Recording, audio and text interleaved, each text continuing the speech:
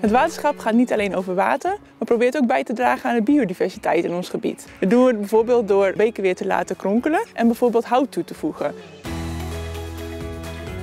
Al onze projecten doen wij samen met partners, agrarisch in het gebied en uh, omwonenden.